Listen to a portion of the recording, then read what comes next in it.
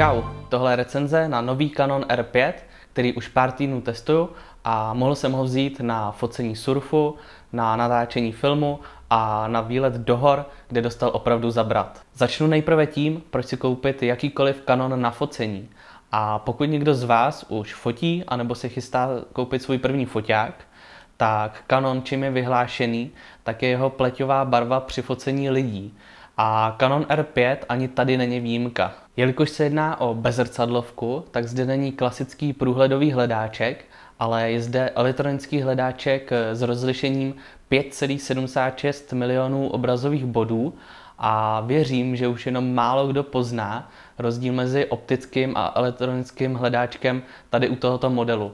Navíc pokud fotíte přes elektronický hledáček, tak vidíte rovnou fotku, jak bude vypadat ještě předtím, než ji vyfotíte. Dále je zde výklopný dotykový displej, kde můžete fotit třeba takhle z podhledu, z nadhledu, anebo si můžete vyfotit selfiečko. A pomocí 5940 ostřících bodů, které se skrývají tady uvnitř fotoaparátu, tak věřím, že vám neunikne žádná fotka, jelikož je zde ostření eh, nejenom na obličej, ale také i na oko. Dokonce funguje ostření na oko i u zvířat. Nicméně, kdybyste chtěli vyfotit eh, třeba letícího ptáka nebo běžící dítě proti vám, tak je zde ještě závěrka, která má 20 snímků za sekundu a s pomocí tohohle brutálního ostřicího systému tak se vám určitě nestane, že by nějaká fotka byla rozmazaná. Je zde rozlišení 45 megapixelů, takže pokud fotíte nějaký reklamy na billboardy nebo si chcete zkrátka vytisknout eh, velký obrazy, tak věřím, že 45 megapixelů vám bohatě stačí a díky vlastně 45 megapixelům a velkému dynamickému rozsahu, který tenhle ten foťák umí, tak z fotky dokážete vytáhnout opravdu hodně. Možná si říkáte, že takhle velké rozlišení ani nepotřebujete, že byste radši chtěli nějaký menší, aby ten foťák zvládal lepší šum. E, nicméně asi už to není úplně taková pravda, jelikož když jsem zkoušel takový ISO test na těch 45 megapixelů a fotil jsem to opravdu ve snížených světelných podmínkách, tak mi přijde, že se fotka nějak nerozpadá i na vyšší ISO hodnoty, pouze nastává potom takový přirozený šum, který mi vlastně ani nevadí. Další věc jsou objektivy. Vím, že vlastně R5 není úplně nejlevnější model, ale pokud třeba chcete ušetřit tady na RF-kových objektivech, tak si můžete koupit takovouhle redukci a můžete používat klasický uh, Canon EF objektivy, který stojí třeba na bazaru pár korun. A já konkrétně tady mám redukci, která má uvnitř uh, drop-in filtry.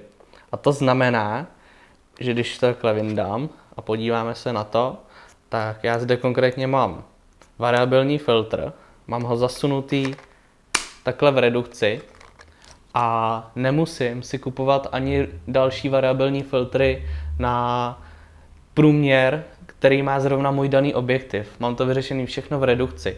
Takže pokud natáčíte video a máte stejně jako já tady nasazený variabilní filtr, tak stačí pouze tady kolečkem točit a bude se vám měnit krásně expozice. K focení se za chvilku vrátíme společně s fotografem Tomášem Hudolinem, který fotí na Canon R a pomohl mi vlastně porovnat Canon R a Canon R5 eh, z pohledu jakoby jeho dlouhodobého uživatele Canonu a profesionálního fotografa. Nicméně já jsem R5 používal primárně na natáčení a na to se jdeme podívat teďka.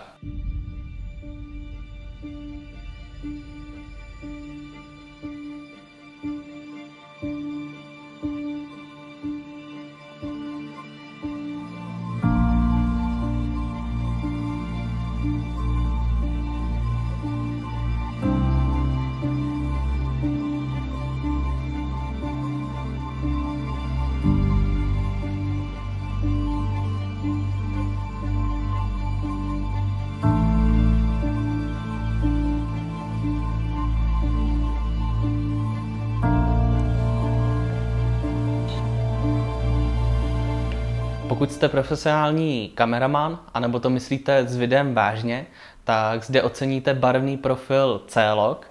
Díky němu máte větší dynamický rozsah a mnohem lépe se to video následně barví v postprodukci. Eh, abyste třeba neměli tolik práce v postprodukci, tak si můžete nastavit eh, C-Log Assist. Eh, díky němu vlastně neuvidíte také vyšedlé video, ale vidíte ho už rovnou dobarvené.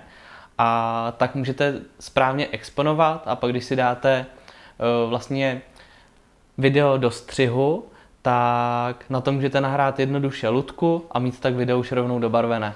Pokud natáčíte reklamy nebo krátké filmy a oceníte 8K rozlišení, který je vlastně ve 25 snímkách, tak i toto tenhle foťák umí.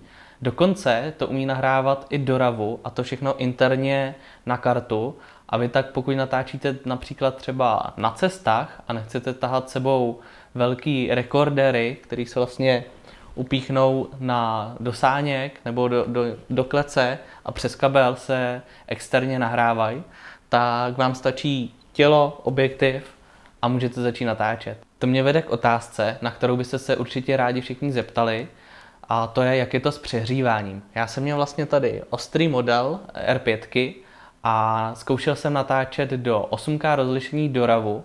Měl jsem 128 gigovou kartu a vešlo se mi tam nějakých 5,5 minut záznamu.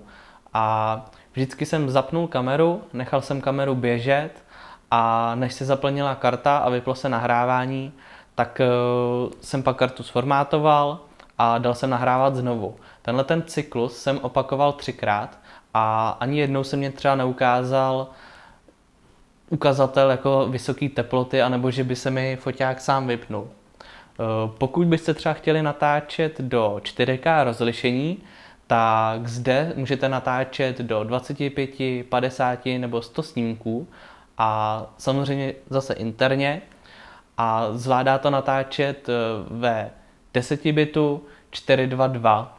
Eh, I tady jsem zkoušel to přehřívání a tady už jsem trošku zaškobrt a zkoušel jsem natáčet 4K v 10 bitu 422 a ten cyklus, než se foťák přehrál, tak trval nějakých půl hodiny.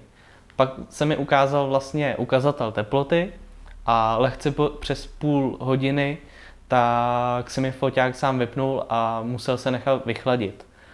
Já si nemyslím, že by to byl úplně nějaký limit toho foťáku, co se týče toho přehřívání, protože tohle je skutečný extrém. Eh, já nevím, kdo z vás by třeba potřeboval nahrávat rozhovor, který by byl ve 4K, eh, v 10 bitu, 422 a trval by třeba 40 minut. Přijde mi to zbytečně dlouhý a i ty data, které byste z toho dostali, tak by jich bylo šíleně moc.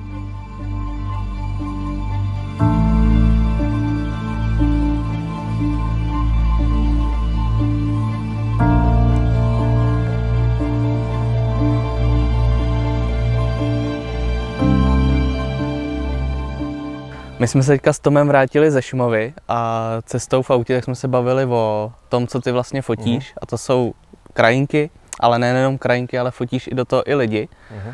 A bavili jsme se o foťákách, že ty si vlastně doteďka fotil na Canon 5D a přišel si na bezrsadlovku.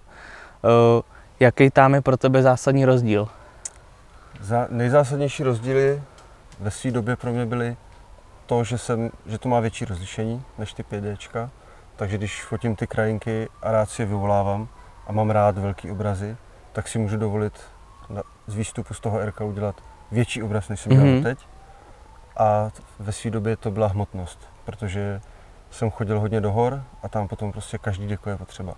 Není to úplně markantní, ale kdo chodí do hor, tak jako zná, že každý deko se počítá. Jasně. A vlastně, když ještě si mluvil o těch rodinkách, tak tam byla zásadní věc, což je ten autofokus, který funguje mnohem líp než u toho 5D.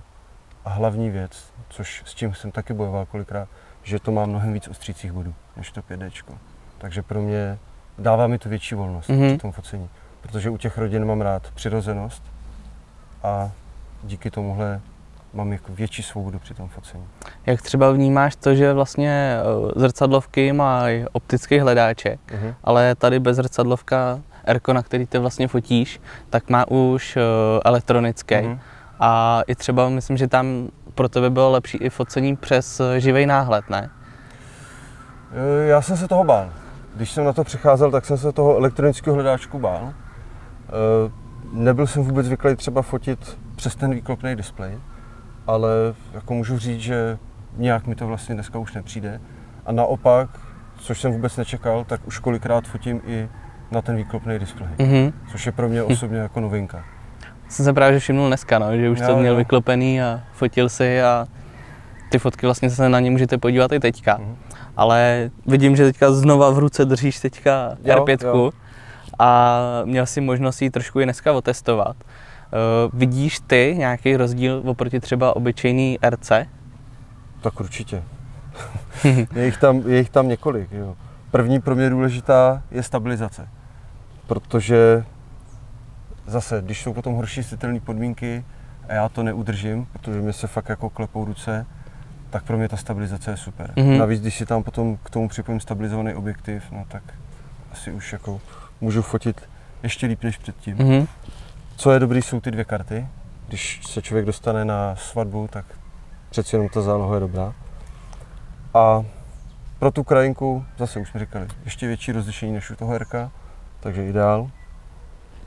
No a opět u dětí ještě lepší autofokus než u herka.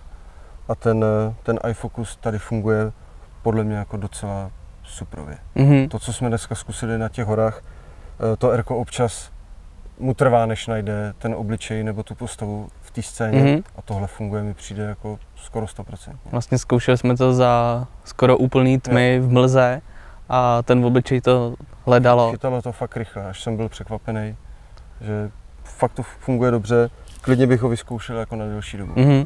Ještě, A- ještě jo. jsme vlastně povídal o jedné věci a vidím, že zrovna teďka to používáš.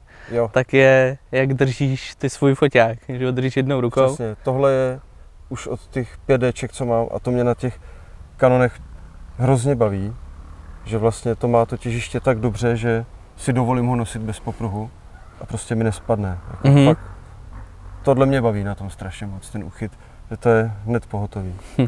A poslední věc, kterou si Mhm. vlastně vychlavoval, eh, že, nebo úplně nevychlaloval, ale říkal si, že Rko má hezčí spoušť než R5. To je pravda, to je Mhm. pravda, to Erko má, to je takový detail, ale je hezčí. Je to hezčí. Ale zase třeba tady R5 má super klasický kolečko se vrátilo, což je úplně bomba. Kdo je zvyklý na ty 5Dčka, tak tohle hrozně uvítá.